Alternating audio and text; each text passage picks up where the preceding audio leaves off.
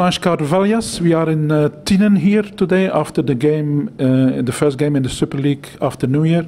Um, the game finished nil-nil. There was one goal disallowed. You think it was offside or not?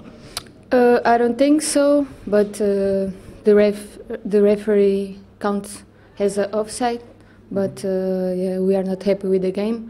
We didn't win, and the, the most important were the three points. But we are in the uh, running for our, our objectives. So Yeah. let's see what's happened. Next week you play with Anderlecht the big game against Standard Liège. They won today. You have a good reminder of that game. What do you hope for next week? Yeah, it will be a hard game, difficult. They have a really good team, but uh, we already proved that we can win. It was a good game uh, for me uh, in the first uh, in the first um round, and we hope that uh, we we we can repeat. Okay.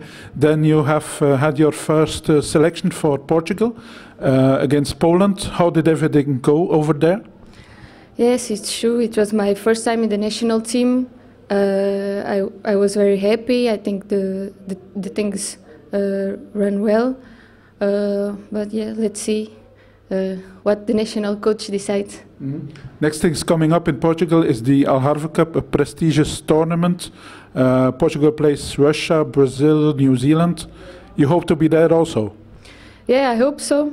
But as I say, the, the staff decide.